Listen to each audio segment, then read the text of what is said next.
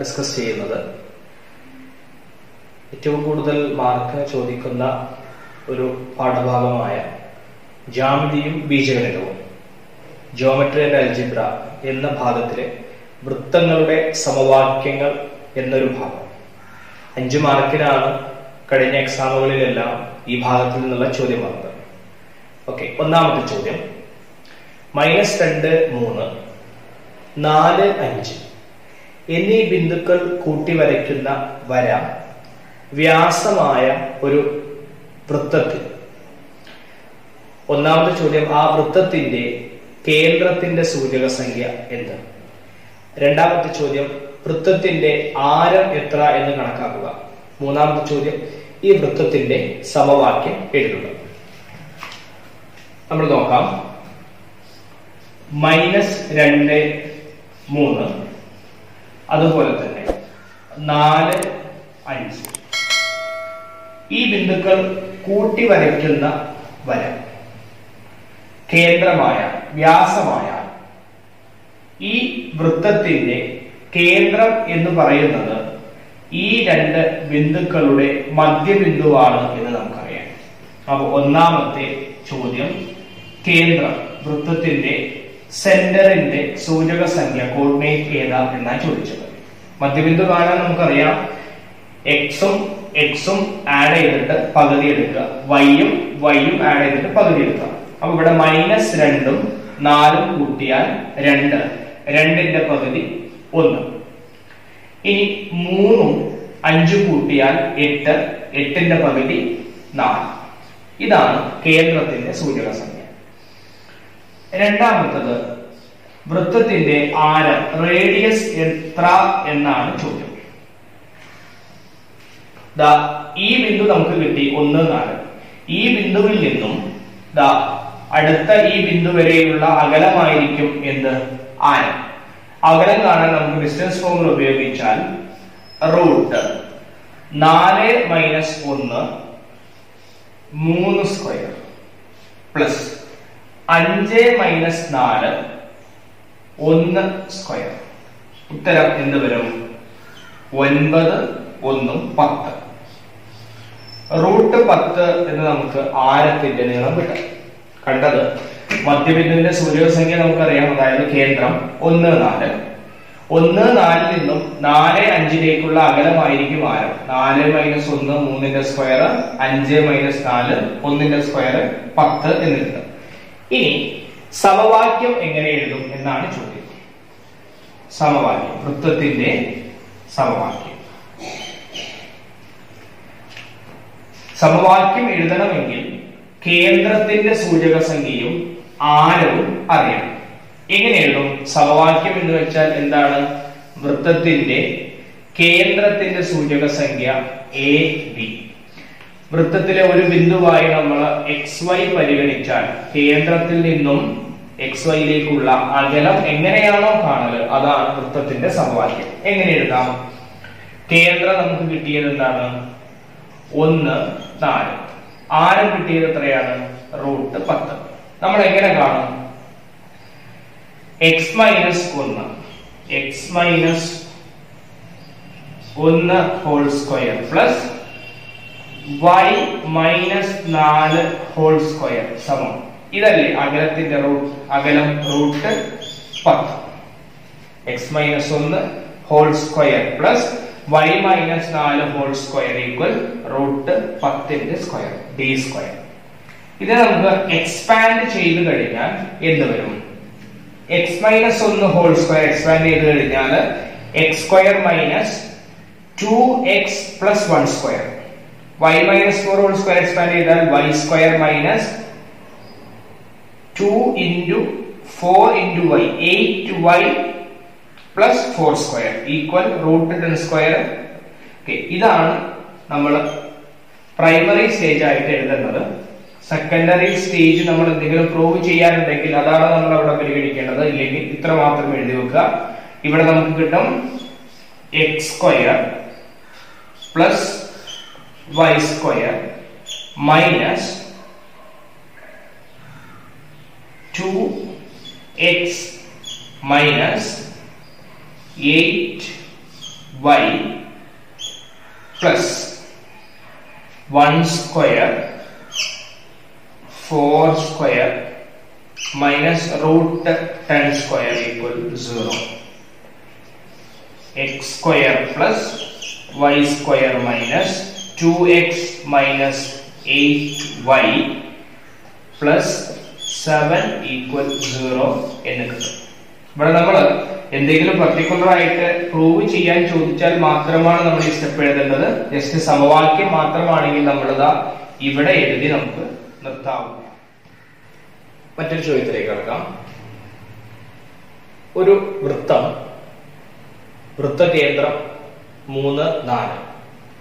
ആധാര ബിന്ദുവിലൂടെയും എ എന്ന ബിന്ദുവിലൂടെയും ബി എന്ന ബിന്ദുവിലൂടെയും കടന്നു പോകുന്നുണ്ട് ഒന്നാമത്തെ ചോദ്യം എ എന്ന ബിന്ദുവിന്റെ സൂചക സംഖ്യ കാണുക ബി എന്ന ബിന്ദുവിന്റെ സൂചക സംഖ്യ കാണുക വൃത്തത്തിന്റെ ആരം എത്ര വൃത്തത്തിന്റെ സമവാക്യം എഴുതുക അപ്പൊ ഇവിടെ ശ്രദ്ധിച്ചാൽ അറിയാം എ എന്ന് പറഞ്ഞാൽ എക്സ് അക്ഷത്തിലെ ഒരു ബിന്ദുവാണ്. എക്സ് അക്ഷത്തിൽ നമുക്കറിയാം വൈ പൂജ്യമായിരിക്കും. ബി എന്ന ബിന്ദു y അക്ഷത്തിലെ ഒരു ബിന്ദുവാണ്. Y അക്ഷമാകുമ്പോൾ എക്സ് പൂജ്യമായിരിക്കും. അപ്പൊ നമുക്ക് ഈ ഒരു ബിന്ദുവും ഈ ഒരു ബിന്ദുവുമാണ് കാണേണ്ടത്. ഇവിടെ തൊണ്ണൂറ് ഡിഗ്രി ആയതുകൊണ്ട് നമ്മൾ ഇതിങ്ങനെ കൂട്ടി വരയ്ക്കാൻ പറ്റും നമുക്ക് ഇവിടെയാണ് കേന്ദ്രം. ഇനി എ എന്ന ബിന്ദുവും ബി എന്ന ബിന്ദുവിലെ എക്സ് സൂചക സംഖ്യകൾ കൂട്ടി പകുതി എടുത്താൽ മൂന്ന് കിട്ടും. വൈ സൂചക സംഖ്യകൾ കൂട്ടി പകുതി എടുത്താൽ നാല് കിട്ടും. അപ്പൊ നമുക്ക് എന്ത് എഴുതാം? ഇവിടെ മൂന്നാണ് കിട്ടേണ്ടത്. ഏത്? എക്സ് സൂചക സംഖ്യകൾ കൂട്ടി പകുതി എടുത്താൽ നമുക്ക് മൂന്ന് കിട്ടണം. അപ്പൊ ഇവിടെ എന്തിന്റെ പകുതിയാണ് മൂന്ന്? ആറിന്റെ പകുതി. അപ്പൊ ഇവിടെ എത്ര വരും? ആറ് എന്ന് വരും. കാരണം ആറും പൂജ്യവും കൂട്ടിയാൽ ആറ് പകുതി മൂന്ന്. ഇനി ഇവിടെ നമുക്ക് എങ്ങനെ കാണാം? കൂട്ടിക്കഴിഞ്ഞ് പകുതി നാല് കിട്ടണം. എന്തിന്റെ പകുതിയാണ് നാല്? എട്ടിന്റെ പകുതി. അപ്പൊ നമുക്ക് ഇവിടെ എഴുതാം? എട്ട്. എങ്കിൽ പൂജ്യവും എട്ടും കൂട്ടി പകുതി എടുത്താൽ നാല് കിട്ടും. എയുടെ സൂചക സംഖ്യ കിട്ടി ബിയുടെ സൂചക സംഖ്യ കിട്ടി. ഇനി ആരം കാണണമെങ്കിൽ ഇവിടെ ഈ രണ്ട് ബിന്ദുക്കൾ തമ്മിലുള്ള അകലം കണ്ടാൽ മതി. നമ്മളിവിടെ ബി എന്ത് എഴുതി? ബി എഴുതിയത് പൂജ്യം എട്ട്. ആരം കാണാൻ റൂട്ട്. എന്ത് വരും?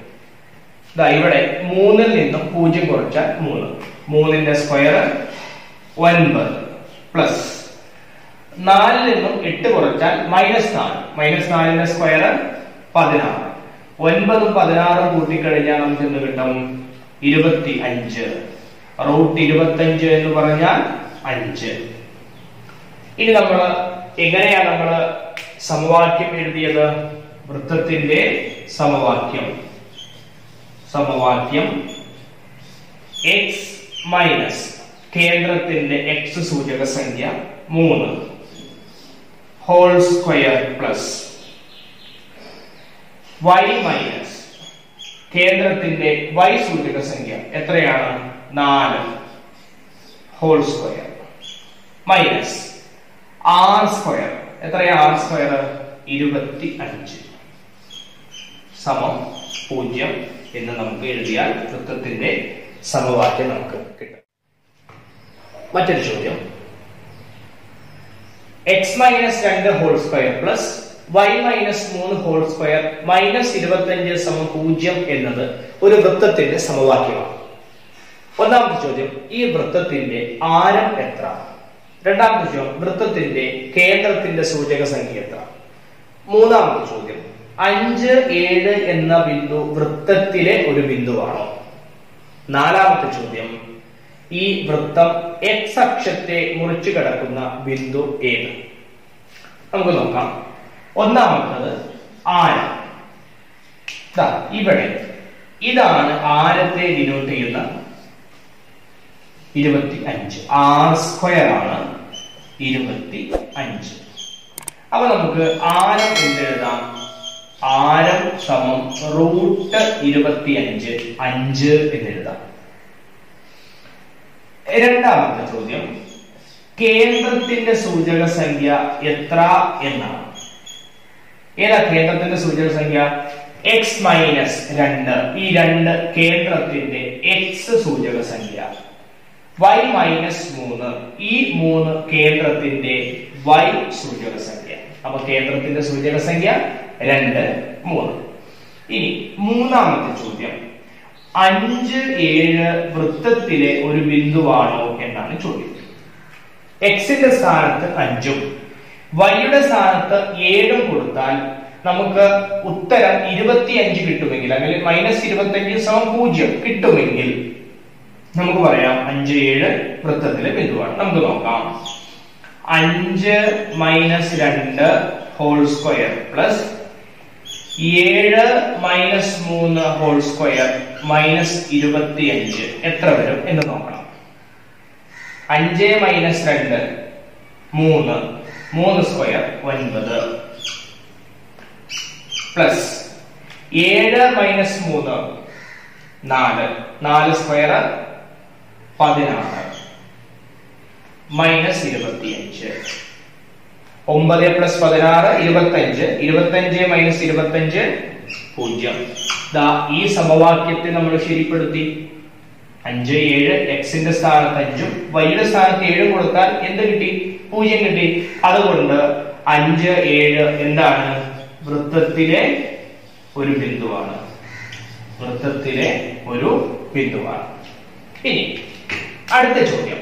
വളരെ ഇമ്പോർട്ടന്റ് ആയിട്ടുള്ള ഒരു ചോദ്യമാണ്. എക്സ് അക്ഷത്തെ മുറിച്ചു കിടക്കുന്ന ബിന്ദു ഏത് എന്നാണ് ചോദ്യം. എക്സ് അക്ഷത്തിൽ വൈ എന്തായിരിക്കും? പൂജ്യമായിരിക്കും നമ്മൾ ഈ സമവാക്യത്തെ ആ രീതിയിലേക്ക് മാറ്റിയാൽ എക്സ് മൈനസ് രണ്ട് ഹോൾ സ്ക്വയർ പ്ലസ് എക്സ് അക്ഷത്തിൽ വൈ പൂജ്യം. പൂജ്യം മൈനസ് മൂന്ന് ഹോൾ സ്ക്വയർ മൈനസ് ഇരുപത്തഞ്ച് സമം പൂജ്യം എന്നതിനെ ഞാൻ സമം ഇരുപത്തിയഞ്ച് എന്ന് മൈനസ് ഇരുപത്തഞ്ച് ഇവിടെ എത്തുമ്പോ പ്ലസ് ഇരുപത്തഞ്ച്. എക്സ് മൈനസ് രണ്ട് ഹോൾ സ്ക്വയർ പ്ലസ് ഒൻപത് സമം ഇരുപത്തി അഞ്ച് ഇവിടുന്ന് എക്സ് മൈനസ് രണ്ട് ഹോൾ സ്ക്വയർ സമം ഇരുപത്തിയഞ്ച് മൈനസ് ഒൻപത് പതിനാറ് എന്ന് എഴുതാം. അപ്പൊ എന്ത് കിട്ടി?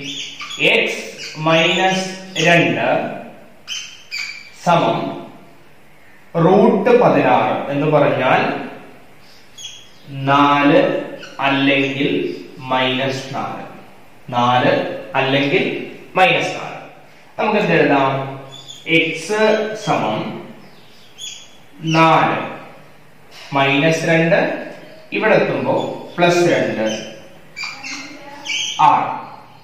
ദെൻ ഇവിടെ നമ്മൾ എക്സ് കൊടുത്താൽ എക്സ് സമം മൈനസ് നാല് പ്ലസ് രണ്ട്. എന്ത് വരും? മൈനസ് രണ്ട്.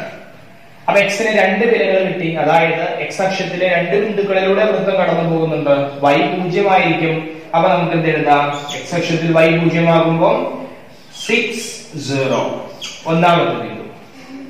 അടുത്ത ബിന്ദു മൈനസ് രണ്ട് പൂജ്യം. അപ്പൊ രണ്ട് ബിന്ദുക്കൾ ഏതൊക്കെയാണ്? ഒന്ന് സിക്സ് സീറോ രണ്ട് മൈനസ് ടു സീറോ എന്ന് രണ്ട് ബിന്ദുക്കളിലൂടെയാണ് വൃത്തം മുറിച്ചു കിടക്കുന്നത് എസ് എൽ സി കൂട്ടുകാർക്കായി മാത്സ് പരീക്ഷ ഈസിയാക്കുന്നതിന് വേണ്ടി വരാൻ സാധ്യതയുള്ള ചോദ്യങ്ങളാണ് നമ്മൾ ഡിസ്കസ് ചെയ്തുകൊണ്ടിരിക്കുന്നത്. തുടർന്നുള്ള വീഡിയോകൾ നിങ്ങൾക്ക് കിട്ടുന്നതിന് വേണ്ടി നിങ്ങൾ ചാനൽ സബ്സ്ക്രൈബ് ചെയ്യുക ബെല്ലൈക്കൺ ക്ലിക്ക് ചെയ്യുക കമാൻഡുകൾ താഴെ കാണുന്ന കമാൻഡ് ബോക്സിൽ ഇടുക ലൈക്ക് ചെയ്യുക ഷെയർ ചെയ്യുക.